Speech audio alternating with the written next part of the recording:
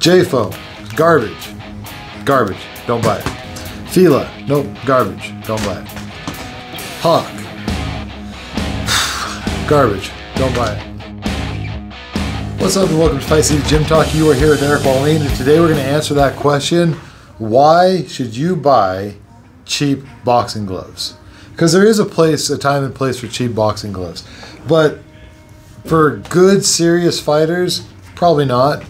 So I want to go through a couple of cheap gloves that I feel like are pretty good, and then gloves that are like I don't think are pretty good at all. So here we go. Check this glove out. Jayefo, garbage. As far as I'm concerned, I don't care. Don't buy them. Um, someone might say, hey, I've had them, they're great. You don't train hard enough because the guys that I've sold those gloves to that do train hard, they blow through those gloves in like a couple weeks. So, Eric, why do you have it on your shelf? Because I didn't know any better. I bought it, I put it on my shelf, and now I'm stuck with it.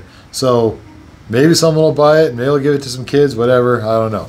Let's go with this glove right here. Bad Boxy. If I pronounce these names wrong, sorry, I don't know. Um, garbage. Don't buy it. Let's go through some more gloves here. I'm going to start with the ones that I don't like so much. Hawk. Garbage. Don't buy it. Fila. In my mind, because I didn't, I mean, growing up in the 90s, Fila was kind of cool.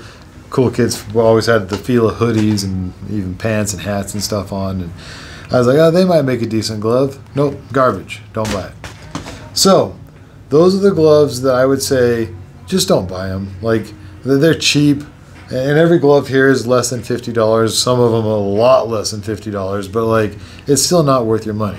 Um, there are some gloves. I've done a review on these ones. We don't need to spend a lot of time on it because i did a whole video on this glove Cheerwing. This is a great glove.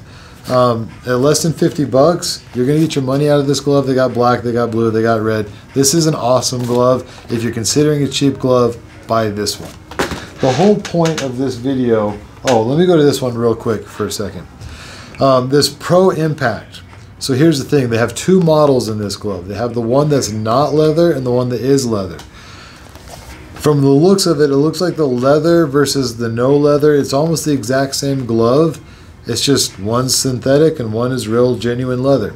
Um, the real genuine leather glove looks like a really nice glove. That one gets over $50. This one comes in just under $50 or about 50 bucks. Um, so at fifty dollars. It's more expensive than a lot of the gloves that I've that I've pointed out already, but honestly, fifty bucks for a pair of gloves is not bad. This one, I don't know a lot about it, but as I feel it, as I put it on, as I as I ask myself, like, is this one worthwhile? I feel like this one, good Velcro, good support throughout the wrist. The material feels strong. Leather doesn't it does not make or break a glove. If this synthetic plastic, which feels like good strong synthetic plastic, holds up, there's really no reason I wouldn't buy this glove. Like I say, I'm kind of new to this glove, but as I put it on, I'm like, dude, this is a glove that I think I'm going to buy again and keep this glove stocked on my shelf. The ones that I pointed out called garbage, I'll, I'll never buy those gloves again, put them on my shelves again. So this one right here, good wrist support. Uh, it's more of a Muay Thai glove. If you ask me, it feels like a Muay Thai glove.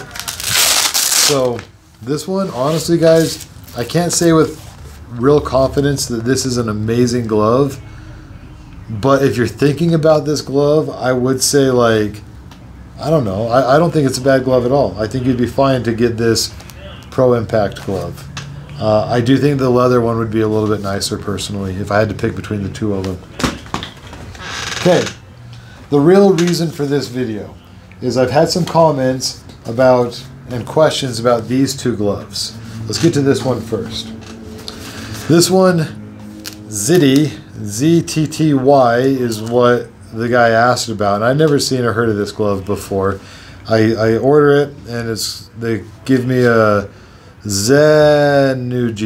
I don't know how to say it. You guys might be making fun of me laughing about that, but this is the glove that they sent me.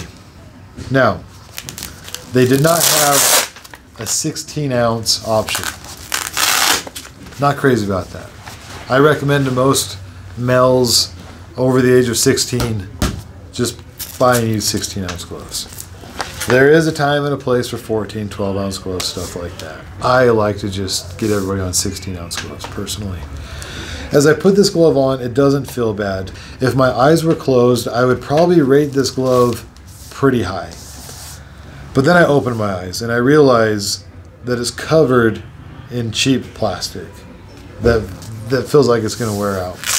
But the thing about this glove, it feels better for sure.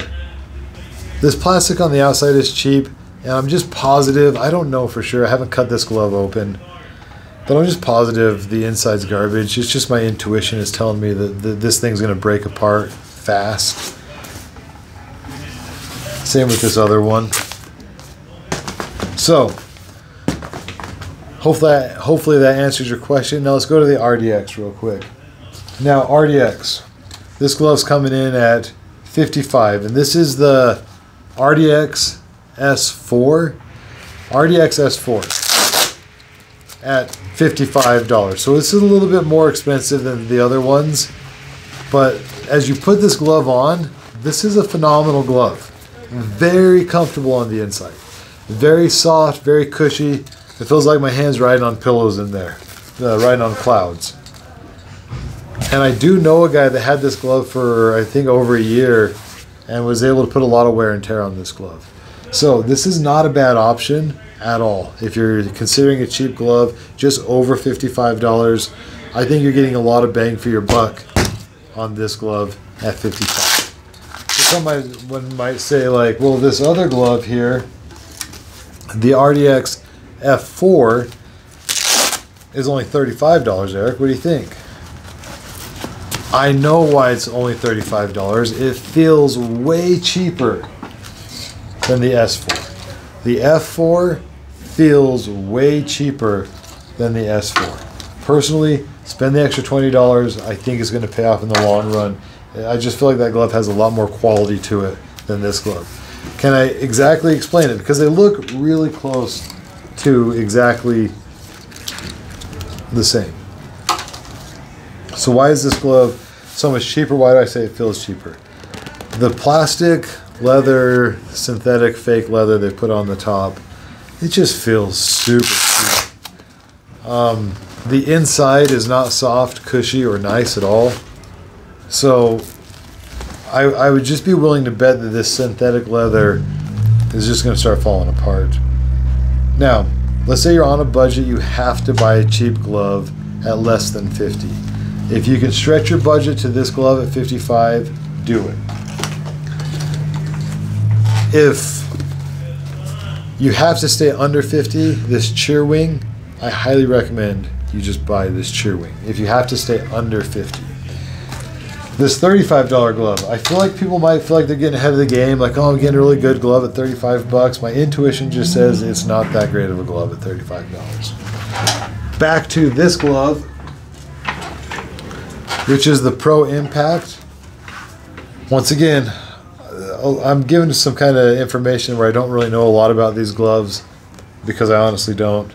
But as I grab them, as I hold them, as I feel them, as I think about my experience, as I press on that pad, in my mind, I'm like, no, this one feels like a really nice glove. So this is right at that $50 range. Um, if you can afford it, I would say just get it. So these ones I like a lot. This one I like, not so much. And the other ones, I don't even want to talk about them again. They're basically garbage. Hopefully, I gave you guys some good information. Uh, where where should these cheap gloves be used? Um, these gloves, I've had fighters with fights coming up go through a couple, multiple fight camps on both these gloves, and they held up fine. So high level guys can use these gloves uh, for safety purposes. I would always recommend go with something a little bit nicer on my channel, people have said a lot about lace ups. Look, guys, I like lace ups. I respect lace ups. There's definitely time and place for lace ups. And for high level, big impact sparring, um, absolutely lace ups. But if you're, I say this a lot invest in yourself, right? And I'm not saying go waste money but like invest in yourself. If you're going to take boxing seriously, boxing will only pay you back if you're investing in yourself. And I'm not even talking about like becoming a pro fighter and being like, oh, I'm going to invest in myself and make millions as a pro fighter. No, I'm saying like, let's just say you're doing boxing for cardio. Like, invest in yourself. Buy good gloves, have good equipment, and let cardio boxing be something that you do regularly and you're not frustrated because your gloves are always falling apart and you're always got bad, ugly, stinky equipment. Invest in yourself. Buy good stuff and enjoy boxing. If you're going to box for cardio, box for fitness, like invest in yourself. Buy some good stuff. Enjoy the process. Treat yourself to some good gloves. Even if you're buying them off Amazon. I don't care.